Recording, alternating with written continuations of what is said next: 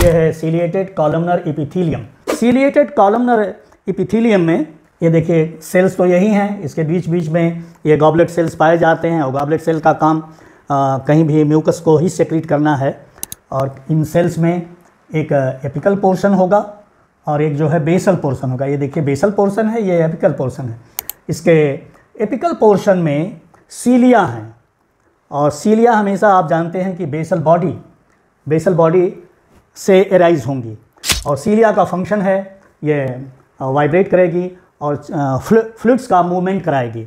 और goblet cell से निकलने वाले जो, निकलने वाला जो म्यूकस है, वो म्यूकस जो है डस्ट को और ये बैक्टीरिया को इंटेंगल करेगा। ये कहाँ कहाँ पाया जाएगा? ये ओविडट में पाया जाएगा।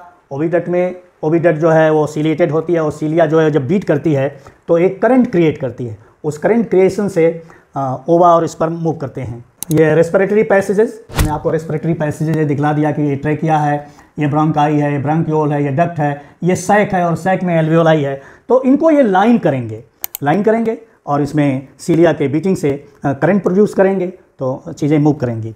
और कुछ चीज़ों को, ये डस्ट है या और जो बैक्टीरिया हैं जिनको इंटेंगल करेगा कुछ किल करेगा, उनको स्पिट आउट भी कराने में हेल्प करता है।